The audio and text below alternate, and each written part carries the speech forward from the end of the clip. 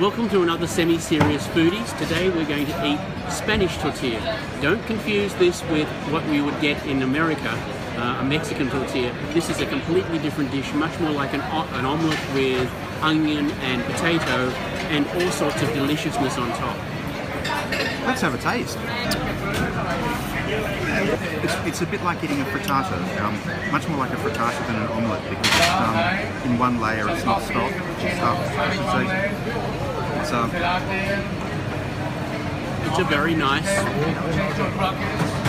the, the concept of potatoes in egg sounds really strange, but it really works. and tortilla is being served with, with something that's very very common around here, and that's the tomato bread. I really like egg dishes, and I reckon this would be really easy to make. Something I think you can do anywhere, anytime. Of course, all we need to do is go shopping for some eggs, potato, and onion, and we can go back to the apartment and make it. So let's cook Spanish tortilla.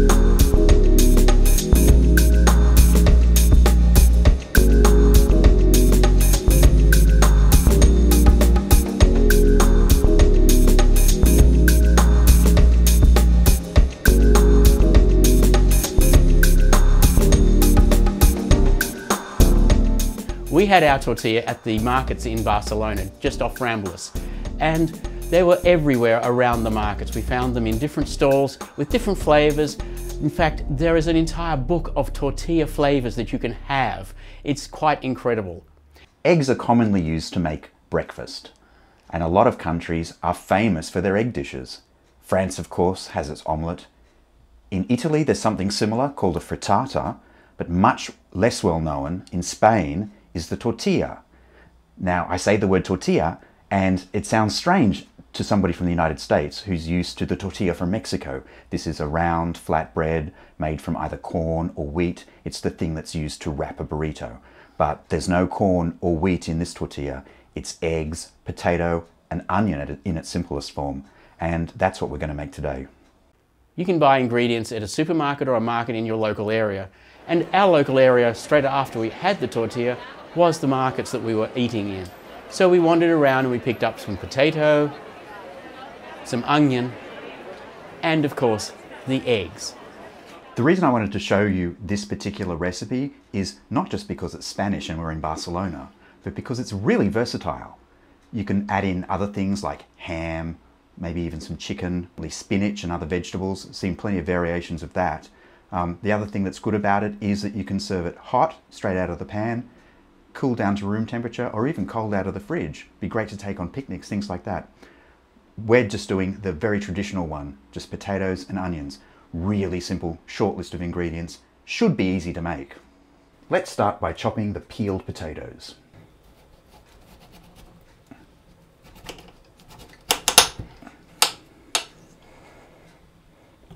Yeah, I'm not going to get thin slices with this knife. So I think I'll go for a bit of dicing then. I noticed that the tortilla at the markets, they were really thinly sliced and sort of layered up in the tortilla. So I hope this cut works. Well, you don't need absolutely perfect tools. It is helpful to have some good sharp knives. I can make this work. I have a feeling that this recipe was a way of using up leftover potato from a, a previous meal. So I really don't think it matters the way that they're cooked. I found a steamer in this kitchen, so I'm going to steam them, which is one of my favorite ways of doing potatoes. I prefer to steam potatoes because it doesn't waterlog them and it hangs on to a bit more of the potato flavor.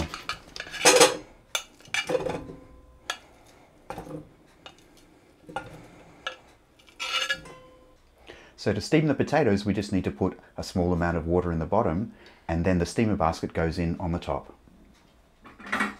You really need very little water in the pan. You don't need a chef's kitchen and chef's tools to cook for yourself. Cooking is fairly simple and techniques like this can be done with any knife, anywhere you go, and you can eat well. Of course, the right tools do make it easier. But don't put off cooking because you don't have all the tools that you need. I've checked in on the potatoes a couple of times and they weren't ready. They were hard in the middle. So let's have another check right now.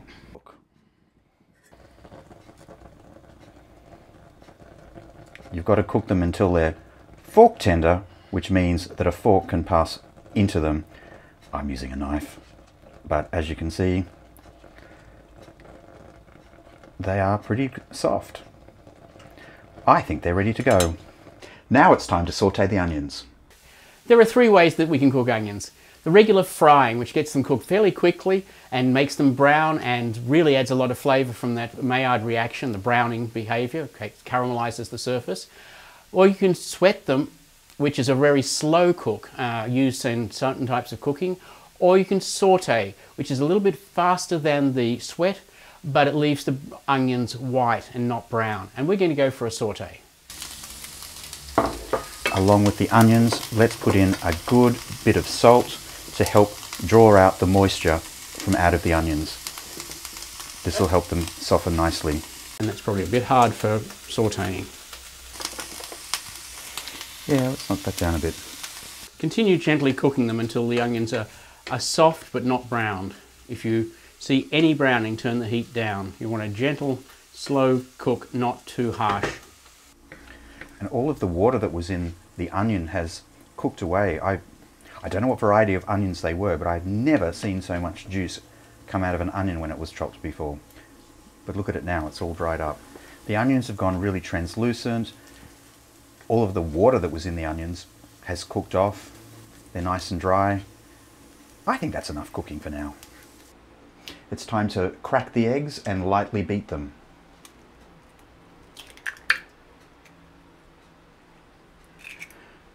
Gosh, look at the beautiful color of that yolk. I have a feeling these came from very, very happy hens. The deep yolk colour comes when the chickens can go out and free range scavenge and have a variety of diet. The real diet, the way they were intended to have, not a, not a corn based diet because it's cheap. And because they're outside scratching around, we also know that they've not been kept in battery uh, farming so that they will have had a nice life. If I was a serious foodie, I'd be able to crack eggs with one hand, but I'm only a semi-serious foodie. I don't have a whisk, but a fork will do. Beat the eggs until the yolk and the white are incorporated, which means that you shouldn't be able to see any flecks of yolk in there. They should be the same consistent colour all the way through. Add the potatoes into the pan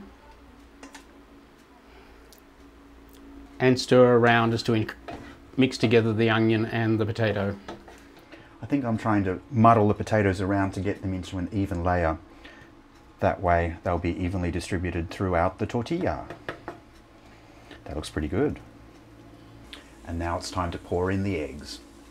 Into a medium hot pan, the eggs go over the mixture of potatoes and onions. Look at that colour. Isn't it beautiful? I love the colour of those yolks. The idea of keeping moving around the edges is so that we slightly round that edge in. So when it's flipped over, it will already take on the round shape of the pan and have a nice even edge. That's a tip we got from our host. I hope it works. And certainly what we saw on the tortillas at the markets, they were all rounded on both edges. Yes. That's starting to look like what it's supposed to look like. The easiest way to finish it off, I think, would be to put it under a broiler, and that way the top would set without you having to do any kind of fancy flipping. But the traditional way is that it gets put out onto a plate and then put back into the pan to cook the other side. Um, I'm a little worried about this next step. So the middle has to be set. Middle has to be slightly set, yes. It's still a bit weird, isn't it? Mm -hmm. Don't know what that's poking up for. The recipe suggests that we should flip it into the lid of the saucepan and then slide it back into the pan. But I think there's a better way using a plate as well as the lid. Let me show you. All right.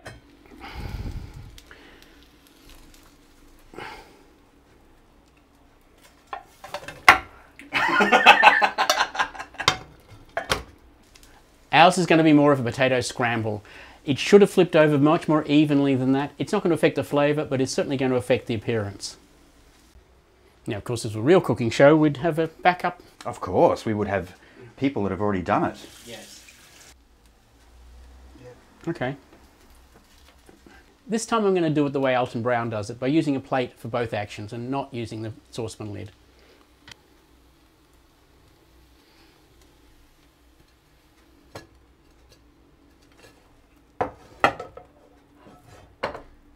Despite the disaster, that doesn't look too bad. That actually looks really good. I love the brown colour on it. We're going to let that cool before we cut and eat it. Cooling will allow it to set up the little bit and perhaps uh, disguise my disaster a little bit better. The tortilla has had a couple of hours to cool down and we're ready to eat. We've served it with a simple side salad of rocket and olives and a lovely glass of Spanish red wine. Let's have a taste, shall we? Shall we? Yes. It doesn't look too bad despite our little um, flipping incident. It's firmed up nicely. Mm-hmm. That tastes really good. Yeah, that's every bit as good as the one we had in the markets this morning. I think I preferred what they did in the markets with the thinly sliced potato because you get a little bit um, less potato in each mouthful.